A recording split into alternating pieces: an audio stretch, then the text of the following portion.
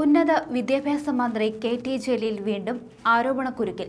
ചട്ടവിരുദ്ധമായി college അധ്യാപക നിയമനത്തിന് അംഗീകാരം നൽകാൻ മന്ത്രി ജലീൽ ഇടപെട്ടതായി ആരോപണം. കേരള സർവകലാശാല വൈസ് ചാൻസലർക്ക് മന്ത്രി നിർദ്ദേശം നൽകിയെന്നാണ് ആരോപണം. നേരത്തെ യൂണിവേഴ്സിറ്റി മാർഗ്ദാനത്തിലും ജലീൽ വിമർശനം ഏറ്റുവാങ്ങിയിരുന്നു. ഇതിൽ സർവകലാശാലകളുടെ ചാൻസലർ കൂടിയായ ഗവർണറുടെ ഇടപെടലും ഉണ്ടായിരുന്നു.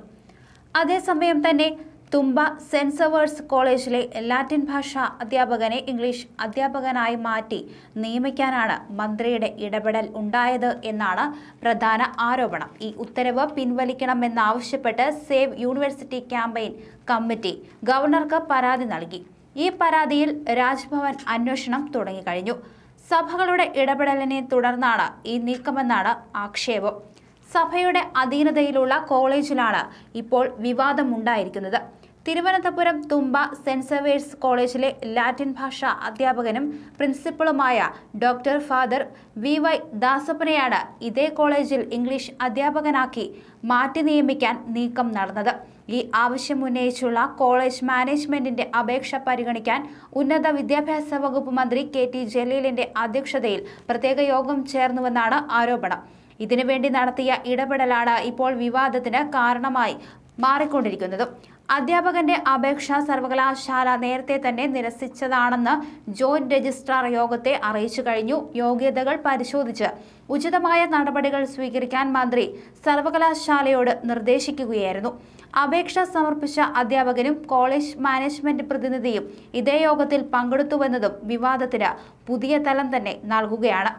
എന്നാൽ ഇംഗ്ലീഷ് അധ്യാപകനാകാനുള്ള യോഗ്യത ഫാദറിനുണ്ടെന്നാണ് ഉയരുന്ന ഒരു പ്രധാന വാദം.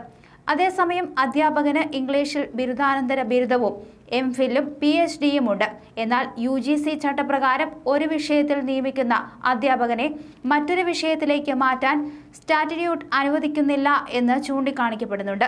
സർവകലാശാലയുടെ അവകാശങ്ങളിൽ മന്ത്രി ഇടപെടുന്നുവെന്ന് കാണിച്ച് സേവ് യൂണിവേഴ്സിറ്റി ക്യാമ്പയിൻ കമ്മിറ്റി ഗവർണർക്ക് പരാതി നൽകി.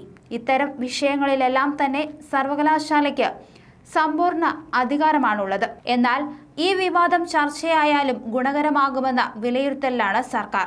തിരുവനന്തപുരത്ത് നിർണായക സ്വാധീനമുള്ള സഭയുടേതാണ് കോളേജ്.